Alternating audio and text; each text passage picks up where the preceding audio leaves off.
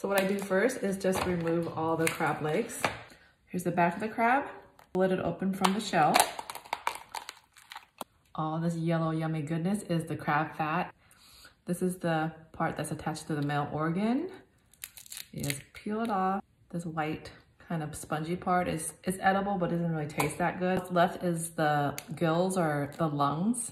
That is definitely not edible. Show you how to do one of these legs. Crack the top.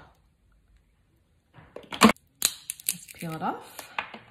And you have this beautiful piece of crab meat. And this is the meat from the crab body I'm putting in the shell.